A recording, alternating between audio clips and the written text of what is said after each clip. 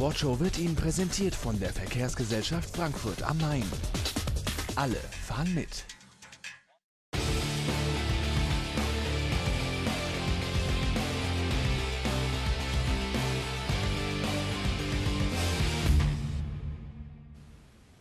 Hallo und herzlich willkommen zu einer neuen Ausgabe der Sportshow. Schön, dass Sie wieder eingeschaltet haben.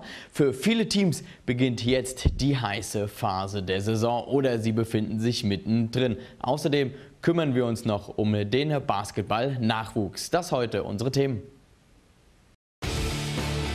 Aufstiegskampf Teil 1. Löwen Frankfurt gleich zweimal im Derby gegen die Kassel Huskies. Aufstiegskampf Teil 2. Gießen 46ers gewinnen Krimi gegen Jena. Noch mehr Basketball. Jugendliche kämpfen um einen Platz im deutschen Perspektivkader. Zu Gast im Studio Nachwuchsbundestrainer Kai Blümel.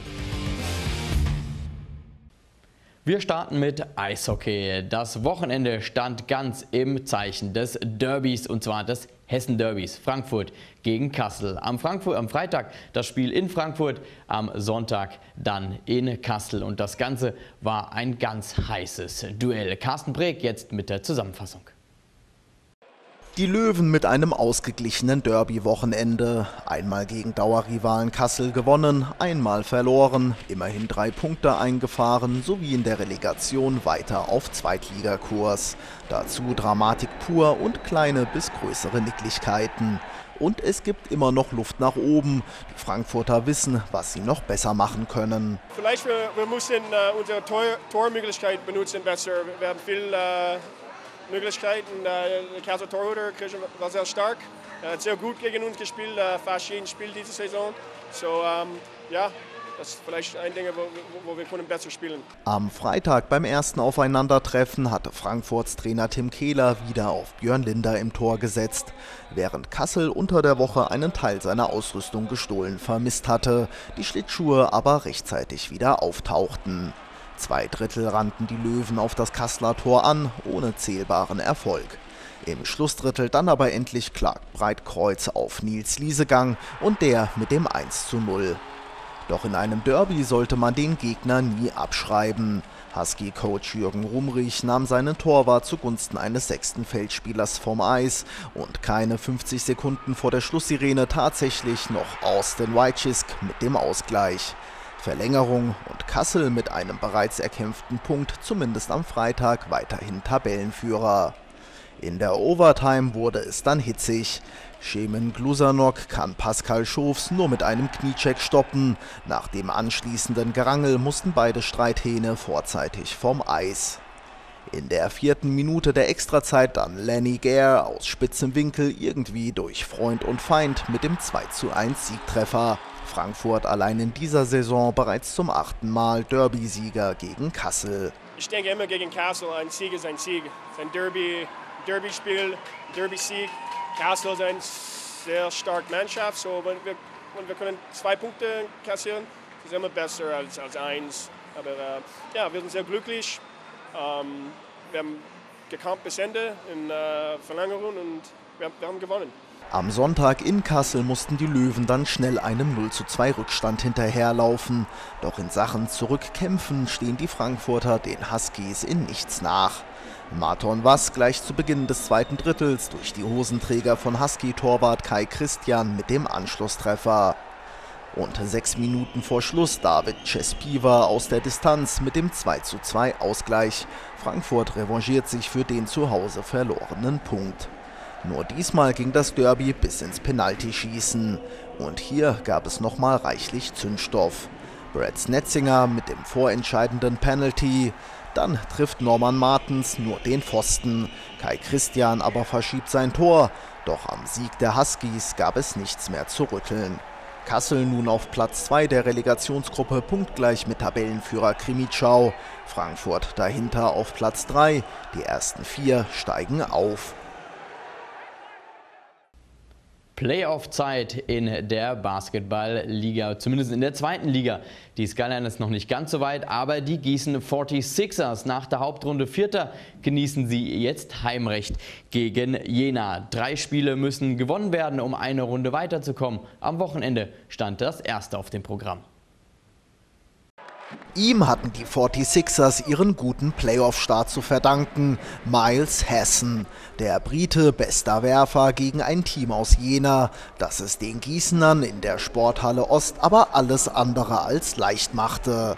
Die Thüringer von Anfang an darauf bedacht, das Tempo zu drosseln, ihre Angriffe voll auszuspielen und ihre Zone dicht zu machen und damit das schnelle Spiel der Gießener zu unterbinden. Also mussten die 46ers es von außen probieren. Immerhin 11 von insgesamt 36 Distanzversuchen fanden ihr Ziel. Zudem Anthony DiLio mit 17 Punkten und Stephen Bennett mit 15.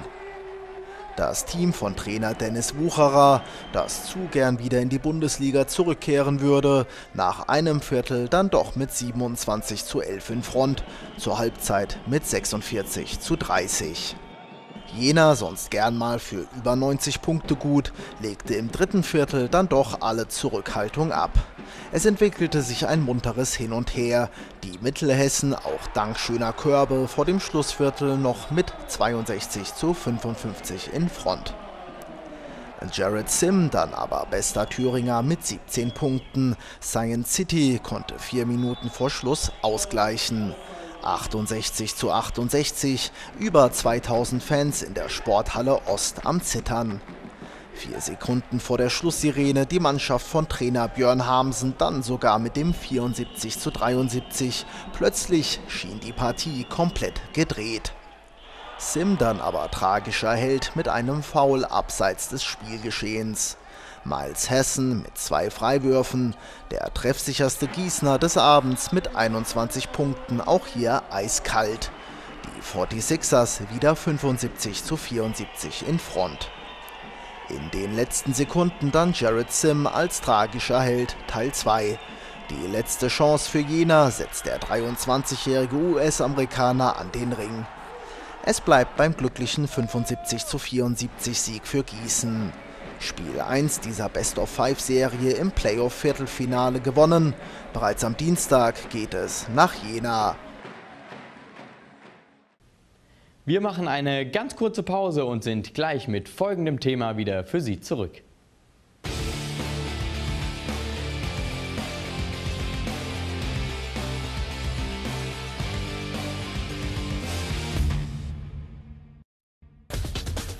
Gleich geht's weiter mit der Sportshow, präsentiert von der Verkehrsgesellschaft Frankfurt am Main. Alle fahren mit. Noch mehr Basketball. Jugendliche kämpfen um einen Platz im deutschen Perspektivkader. Zu Gast im Studio Nachwuchsbundestrainer Kai Blümel.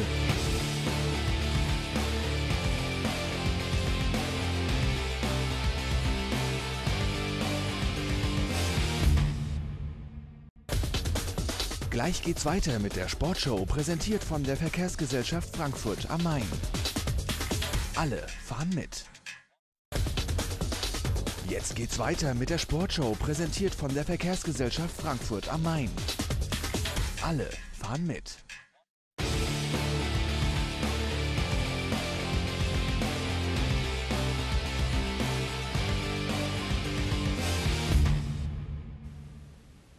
Wir sind wieder zurück in der Sportshow. Früh übt sich, wer einmal Nationalspieler werden will. Ein bisschen abgedroschen, aber so ist es nun mal. Und das zählt natürlich auch für die Basketballer. Am Wochenende trafen sich die Jahrgänge 2000 und 2001 um sowas wie eine ja, Vornationalmannschaft oder wie es genannt wird, ein Perspektivkader zu suchen. Bei mir Kai Blümel, Nachwuchsnationaltrainer. Äh, wie war denn das Niveau am Wochenende der Jahrgänge? Ähm, wir sind sehr zufrieden. Ähm, auch wenn ich selber jetzt im männlichen Bereich tätig bin, bei den Mädchen war man fast euphorisch, was das für ein toller Jahrgang jetzt war mit den 2000ern. Und wenn man das gesehen hat, da waren viele große Mädchen dabei. Also das, die Spiele, die man geguckt hat, das war wirklich ein tolles Niveau. Ähm, die Nachwuchsbundestrainer und Bundestrainerinnen im, im, weiblichen Bereich sind sehr zufrieden. Wir sind es auch. Wir sehen seit Jahren eine positive Entwicklung, ähm, sowohl in der Spitze als auch in der Breite und die hält auch weiterhin an, wenn auch natürlich nicht mehr jetzt so rasant, wie das vielleicht vor zwei, drei Jahren war, aber ähm, wir haben ein sehr gutes Niveau, wir haben eine breite Auswahl an Spielern und wir waren auch da sehr zufrieden mit dem, was wir am Wochenende gesehen haben. Wie wichtig ist denn so eine Veranstaltung, wie wir sie jetzt am Wochenende hatten, unter dem Deckmantel, heißt ja Talente mit Perspektive? Für uns ist es wichtig, schon äh, früh, möglichst früh die Talente, vor allen Dingen die hochtalentierten Spieler, ähm, zu sehen. Deshalb auch mit 13 Jahren äh, schon diese erste Sichtung, nenne ich es mal, obwohl es keine richtige Sichtung ist. Ähm, aber es ist wichtig, dass wir schon sehen, welche Spieler sind da, die man vielleicht dann schon ein bisschen beraten und besonders fördern kann, wo man schon ein bisschen gucken kann, ähm, frühzeitig die Trainingsinhalte zu beeinflussen, äh, im Hinblick dann auf spätere Leistungen im Juniorenalter, im Männeralter, wenn es dann darum geht, Nationalmannschaft zu spielen. Also da ein bisschen Einfluss nehmen zu können. Und je früher wir das können, umso besser, denke ich, ist das für uns auch als DBB. Muss man da vielleicht auch manch einem Athleten schon sagen, der wirklich ohne es despektierlich zu meinen, beim Kleinstverein noch trainiert, vielleicht auch dort schon die nächste, den nächstgrößeren Verein aufzusuchen? Diese Pfade muss man da sicherlich schon versuchen zu legen. Also wenn wir da ein herausragendes Talent sehen, das bei einem sehr kleinen Verein spielt, dann ist es natürlich nicht zwingend notwendig, dass er sofort wechselt. Aber man muss das, denke ich, dann schon langsam vorbereiten, ähm, dass man den Eltern und dem, dem Jungen oder dem Mädchen sagt, du, du musst jetzt schon mal gucken in den nächsten zwei, drei Jahren, äh, dich örtlich zu verändern, so leid das dann für den abgebenden Verein äh, mir auch tut. Aber das ist wichtig, dass wir da äh, die Jungs und Mädchen in Programme bekommen, wo sie entsprechend ihrem Talent gefördert und trainiert werden. Sie haben eben auch die Eltern angesprochen, wie wichtig in so einer Entwicklung oder auch in der Kontakt, in Kontaktsache, wenn man sagt, es ist, wir haben da ein großes Talent gesehen, wie geht man da auch mit den Eltern um? Na gut, man sucht das Gespräch mit ihnen, man sucht auch äh, natürlich herauszufinden, was für eine Perspektive die Eltern äh, in ihren Kindern sehen. Ähm, das kann manchmal sein, dass sie Perspektiven haben, die vielleicht nicht so realistisch sind, positiv. Oder man, man hat halt überhaupt keine Idee, dann versucht man zu beraten, aber man sucht schon herauszufinden, was die Eltern für eine Vorstellung haben ähm, und versucht mit ihnen gemeinsam da Wege zu finden, wie man das irgendwie. Weil es ist natürlich nicht so ganz einfach, ähm, wenn man dann einen Standort suchen muss, der vielleicht nicht mehr in fahrtechnisch einfacher Entfernung ist. Ähm, dann muss man gemeinsam Lösungen finden, weil auch da das Familiengefüge auch für die Jugendlichen oft noch eine große Rolle spielt. Und man, wenn man äh, es falsch angeht, ähm, da auch etwas kaputt machen kann und aus einem Talent, das man früh gesehen hat, dann vielleicht doch nichts wird, weil er in der neuen Umgebung nicht zurechtkommt. Es gab Vorturniere, am Wochenende waren sozusagen schon die Besten des, der jeweiligen Jahrgänge da und aus denen sollten nochmal die besten zwölf rausgefiltert worden. Und wir schauen jetzt mal an, was am Wochenende los war bei Talente mit Perspektiven.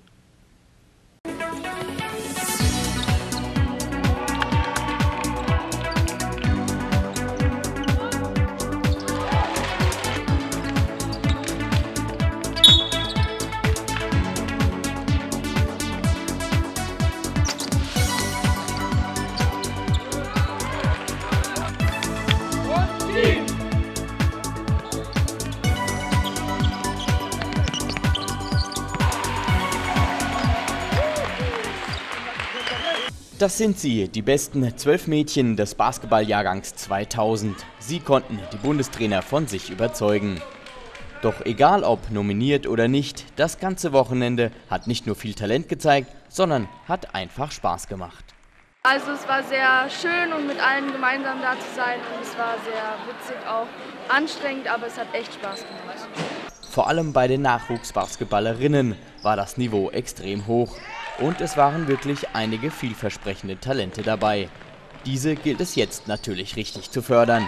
Denn eine Nachwuchshoffnung zu finden ist die eine Sache, aus ihr mehr zu machen eine andere. Ich glaube, es geht ganz viel darum, dass wir das Talent, was wir haben und was wir auch schon seit Jahren eigentlich bei diesen Veranstaltungen vorweisen, dass wir uns darum kümmern können.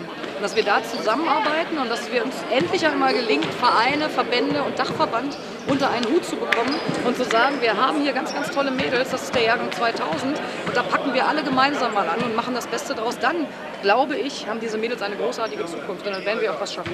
Wenn uns das nicht gelingt und jeder sein Zeugs weitermacht, dann haben wir große Probleme. 48 Mädchen hatten sich für das Finale am Wochenende qualifiziert. Und hier mussten die Bundestrainer die Besten der Besten heraussuchen, um sie für den Perspektivkader zu nominieren. Die, die es geschafft haben, für die bedeutet es Motivation pur. Also für mich bedeutet es, ähm, angenommen zu sein und zu wissen, okay, ich muss jetzt noch mehr machen auch und dass ich schon auf einem guten Weg bin. Auf einem guten Weg sind alle, die am Finale teilgenommen haben. Denn auch wer jetzt nicht nominiert wurde, kann seine Karriere natürlich noch machen. Denn so manch ein gestandener Nationalspieler hat erst mit 15 oder 16 seinen großen Sprung gemacht. Aber wo liegt denn der Unterschied zwischen den Mädchen und den Jungs? Also ganz allgemein hier sind wir natürlich ein Jahr älter im weiblichen Bereich. Von daher glaube ich, dass das äh, spielerisch schon etwas mehr entwickelt ist. Ähm, ich glaube insgesamt, dass, dass der Sport vieles gemein hat, männlich und weiblich, dass aber ähm, das Spielerische, das Zusammenspiel, das, das Mannschaftstaktische eine etwas größere Bedeutung im weiblichen Bereich hat und das Individuelle und die Athletik einfach eine größere Bedeutung im männlichen Bereich hat. Und beides ist seine Attraktivität und beides macht das einfach zum ganz tollen Sport. Auch für die Jungs, die alle aus dem Jahrgang 2001 stammen, ging es um einiges. Auch hier stand für jedes Team, welches nach der Vorqualifikation bunt zusammengewürfelt wurde, drei Spiele an diesem Wochenende an.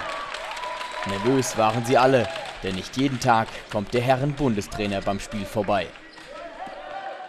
Also am Anfang ist man erstmal ein bisschen nervös, aber es geht dann. Also wenn man im Spiel drin ist, passt es schon. Die unterschiedliche körperliche Entwicklung war bei den Jungs noch mal größer und dementsprechend ist es natürlich auch noch schwerer, die besten zwölf herauszufiltern. Ja, das ist äh, wirklich interessant. Wir sind ja jetzt, einige sind noch länger dabei als ich. Ich bin jetzt acht Jahre dabei. Bei dieser Sichtung jetzt auch im siebten Jahr. Und es ist wirklich interessant zu verfolgen, welche von den Spielern, die wir vor sieben Jahren gesichtet haben, dann ähm, auf welchem Niveau die jetzt spielen und wo die ankommen und so. Es ist sehr schwer, aber da gibt es natürlich auch viele Sichtungskriterien, die wir so kennen und ähm, wonach wir schauen ähm, die Top 3, 4, 5 Spieler, die ähm, finden alle raus. Aber dann gerade so die, die dann danach kommen, da gibt es viele, die schon, ja, wichtig für die Beurteilung ist auch das Trainingsalter. Und ähm, einige spielen schon jahrelang, andere fangen jetzt erst an, ja. Und, ähm, und gerade die, die ein bisschen größer werden, die sind muskulär noch nicht so weit, also sind sie athletisch hier, können sich nicht so in Szene setzen und das muss man alles mit berücksichtigen. Natürlich sind die Nachwuchstalente noch weit, weit entfernt von einem Einsatz in der Bundesliga. Aber sie bringen schon mal die richtigen Voraussetzungen für eine mögliche Karriere mit. Und auch die Trainer am Wochenende versuchten natürlich in der kurzen Zeit, ihre Basketballer noch weiter auszubilden. Also äh, den einen Vorteil, den man an der Stelle hat, man hat durch zwei Vorturniere ja schon die Möglichkeit gehabt, ein paar von den Jungs zu sehen und die schon mal in Aktion äh, zu haben. Äh, natürlich ist es ein, was anderes, als wenn man die als Vereins- oder Verbandstrainer ein bisschen länger unter sich hat. Aber man kann da schon ein paar Stärken, die sich die Kinder erarbeitet haben, finden und sehen und auch an denen arbeiten und halt auch die ein, zwei Kleinigkeiten finden, wo man ihnen sagen muss, an den Sachen müssen wir noch weiterarbeiten und an der Stelle konzentriert bei der Sache bleiben. Das geht dann schon. Am Ende waren die Nominierten einfach froh und glücklich dabei sein zu dürfen und schon mal einen ersten Schritt in Richtung Nationalmannschaft gemacht zu haben. Alle anderen sollten sich durch die Nicht-Nominierung motivieren noch mehr zu trainieren. Talent hatten alle, die am Wochenende vor den Bundestrainern vorspielen durften. Und Spaß hat es jedem Einzelnen auch gemacht.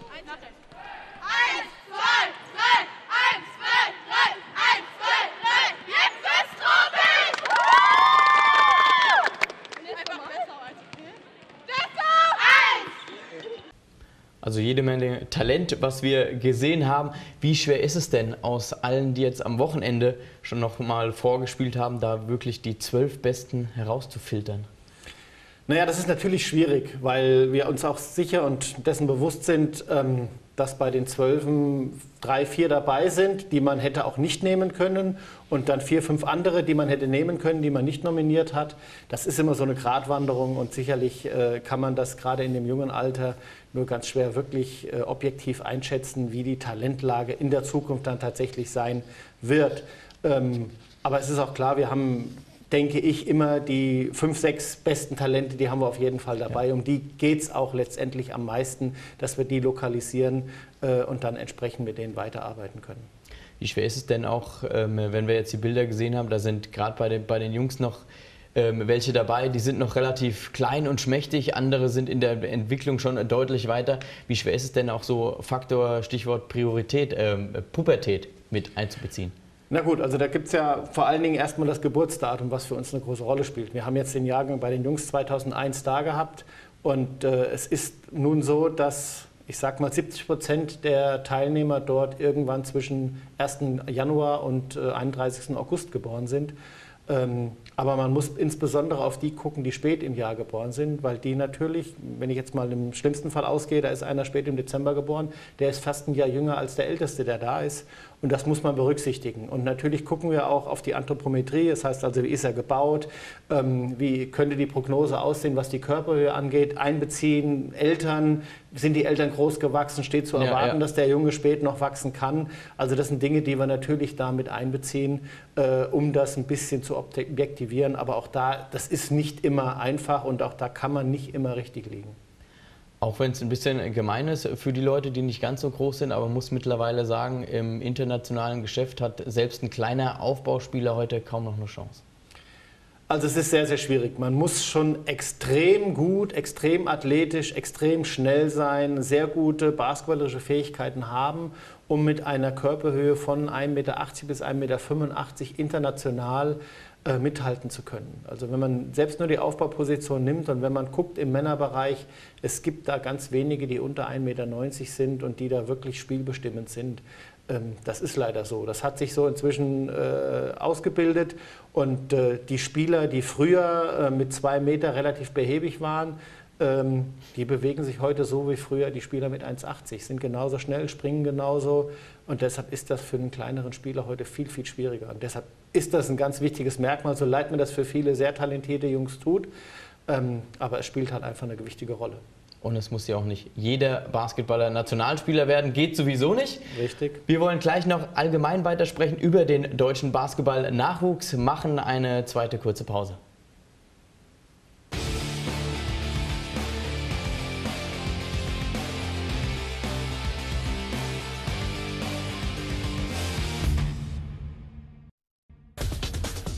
Gleich geht's weiter mit der Sportshow, präsentiert von der Verkehrsgesellschaft Frankfurt am Main. Alle fahren mit. Jetzt geht's weiter mit der Sportshow, präsentiert von der Verkehrsgesellschaft Frankfurt am Main. Alle fahren mit.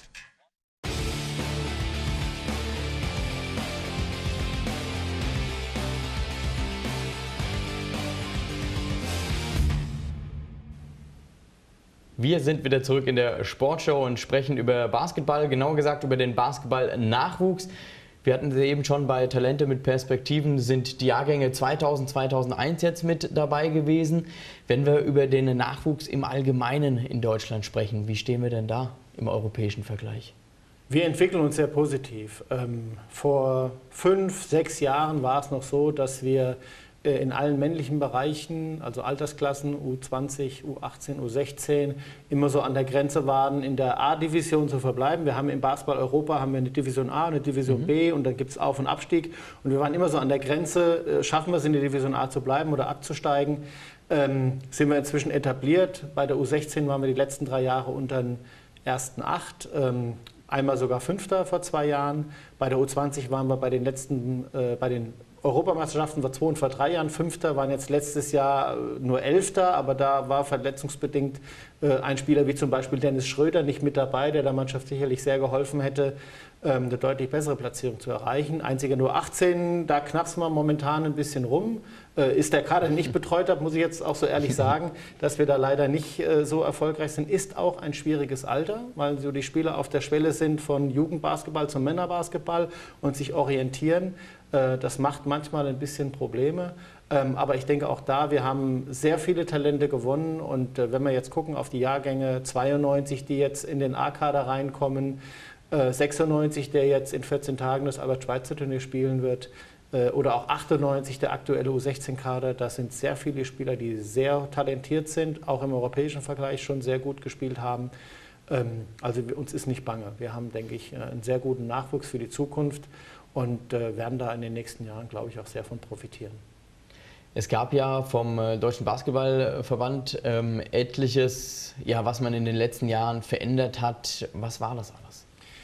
Naja, das Wichtigste war die Einführung äh, einer Nachwuchsbundesliga, das heißt äh, U19, dass Spieler U17, U18 und U19 in einer Bundesliga in vier Divisionen spielen, das Niveau dadurch der Spiele deutlich besser wurde. Mhm. Äh, dann haben wir vor vier Jahren das Ganze ergänzt mit einer Jugendbundesliga, also in dem Bereich, Altersbereich U16 wurde ebenfalls eine nationale Liga installiert. Ähm, dadurch ist insgesamt das Niveau gestiegen. Hinzu kommt, dass die Bundesligisten deutlich mehr in der Nachwuchsarbeit investieren, als mhm. das noch vor zehn Jahren der Fall war, professionelle Strukturen haben, die meisten mit zwei hauptamtlichen Nachwuchstrainern arbeiten, die Qualität des Trainings besser geworden ist, also insgesamt sowohl von Verbandsseite als auch insbesondere von äh, Bundesliga-Seite äh, dort wesentlich mehr getan wird und eben gerade diese, diese Nachwuchs-Bundesligen äh, uns sehr helfen. Das sehen wir daran, dass wir, wenn ich jetzt mal U18 als Beispiel nehme, ähm, wenn wir dort das Sichtungsturnier oder das Sichtungscamp machen. Mhm. Äh, früher hatten wir 30 Spieler, aus denen wir mehr oder weniger ausgewählt haben, wo wir gesagt haben, da sind 10 dabei, also 31 bis 40, naja, das ist okay, aber die hätten jetzt nicht unbedingt da sein müssen, ist es so, dass wir inzwischen 48 äh, Spieler da haben, die alle sehr gut mithalten können, die alle eine realistische Chance haben, in den Kader zu kommen. Also die Breite ist deutlich größer geworden. Und wie lang und steinig ist der Weg von einem Talent mit Perspektive bis im Extremfall bis zum A-Nationalspieler?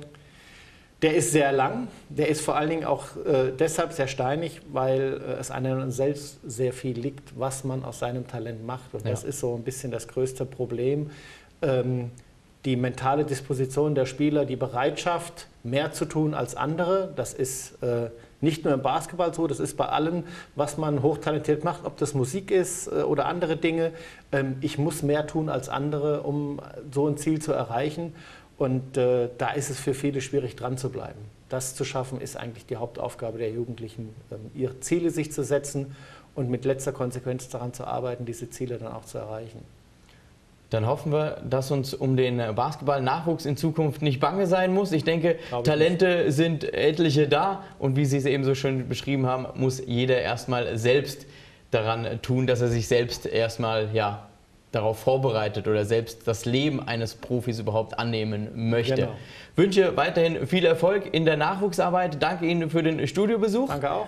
Liebe Zuschauer, das war's wieder von der Sportshow. Wir sehen uns nächste Woche wieder zur gewohnten Uhrzeit. Bis dahin, tschüss und auf Wiedersehen.